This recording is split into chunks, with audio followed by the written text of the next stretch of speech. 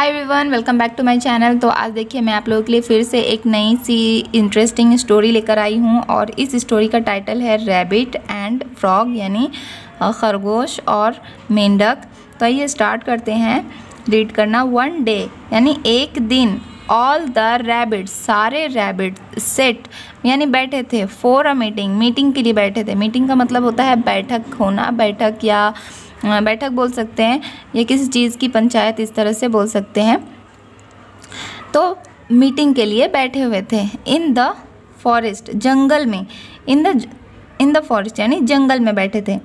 The leader said, यानी खरगोश में जो लीडर था, सबसे बड़ा जो था, उसने कहा, लीडर ने कहा, ब्रदर्स, भाइयों we have no friends in this forest यानी वी हैव नो हमारे पास नहीं है फ्रेंड्स दोस्त नहीं है हमारे पास, कोई भी दोस्त नहीं है इन दिस फॉरेस्ट यानी इस जंगल में।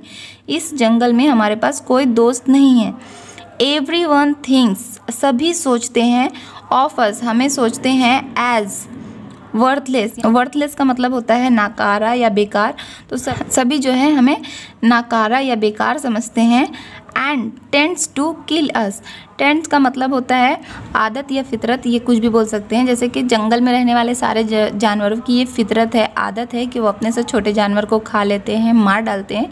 तो इसी वजह से जो है, यहाँ बोला जा रहा है टेंट्स टू किल अस और हमें जो है, मार डालते हैं, हमें मारने पर तुल जाते हैं, इस तरह से बोल सकते हैं। We can not bear bear का मतलब होता है सहना। हम लोग नहीं सह सकते। The the insult any more यानी और ज़्यादा और ज़्यादा एनी मोर का मतलब होता है और ज़्यादा इंसल्ट यानी बेइज्जती और ज़्यादा बेइज्जती नहीं सह सकते। So let us all go तो सो so, यानी तो लेट यानी चलो चलो हम सब चलते हैं एंड किल आवर सेल्फ और किल का किल यानी मार डालते हैं आवर सेल्फ खुद को खुद को मार डालते हैं बाय ड्रॉनिंग ड्रॉनिंग का मतलब होता है डूबना। By drowning in the river यानी दरिया में डूबकर अपने आप को मार डालते हैं, अपने आप को ख़त्म कर देते हैं। एवरी वन अग्रीड सारे जो हैं राज़ी हो गए and moved toward the river और मूव हो गए। मूव हो गए यानी उस तरफ़ मुड़ गए या चले गए टूवर्ड की तरफ़ द रिवर यानी दरिया की तरफ़ मूव हो गए, दरिया की तरफ़ चले गए। तो ये नेक्स्ट पैराग्राफ है ये। When they were about to jump into the river यानी जब वो कूदने वाले थे अबाउट टू जम्प का मतलब होता है कूदने वाले थे इन टू द रिवर यानी दरिया में जब कूदने वाले थे, दरिया में जब जब वो कूदने वाले थे two baby frogs frogs saw them यानी दो छोटे मेंढक ने उन्हें देखा।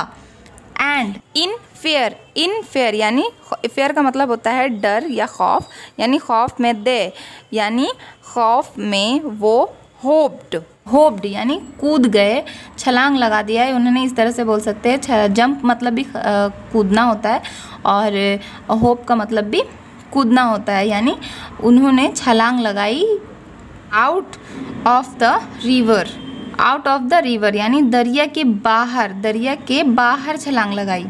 When the leader saw this यानी जब लीडर ने, जब जब लीडर ने ये देखा, क्या देखा कि दो मेंढक जो है डर से बाहर निकल गए क्योंकि वो कूदने वाले तो कूदने वाले थे दरिया में तो ये देखकर जो है छोटे जो मेंढक थे वो डर से बाहर आ गए।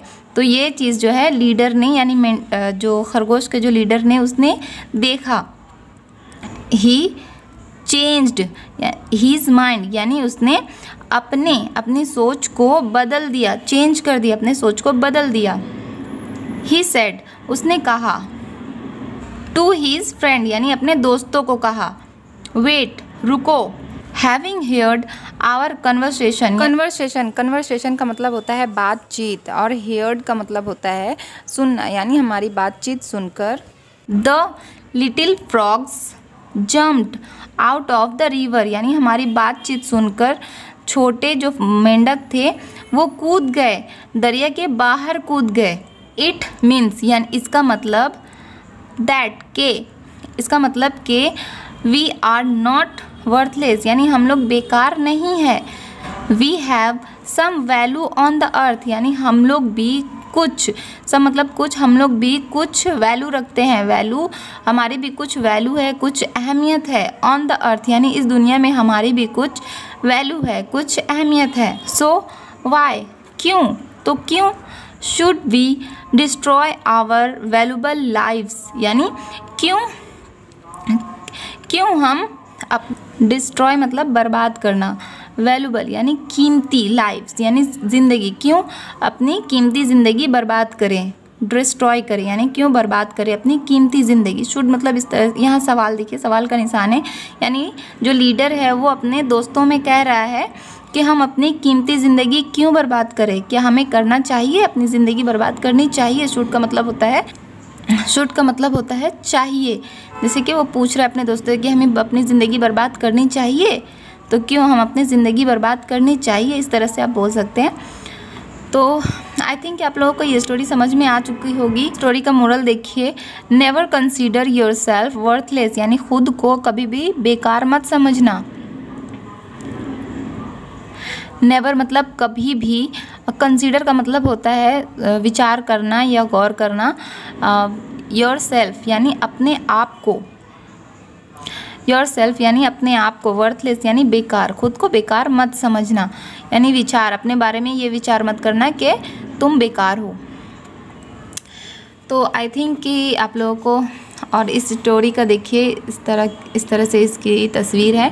गोश में से जो ये लीडर है और उसने इन छोटे छोटे जो है मेंढक को देखा कि वो दरिया से कूद गए दरिया के बाहर आ गए डर से उनके डर से। इसलिए जो है ये ख़ुद को इन्होंने बेकार नहीं समझा खुद को क्योंकि इनकी भी कुछ वैल्यू है इनसे भी जो है इनसे छोटे जानवर जो है डरते हैं। तो आई थिंक कि आप लोगों को ये स्टोरी पसंद आई हो अगर पसंद आई है तो प्लीज़ लाइक कर दीजिएगा और मेरे चैनल को सब्सक्राइब कर लीजिएगा।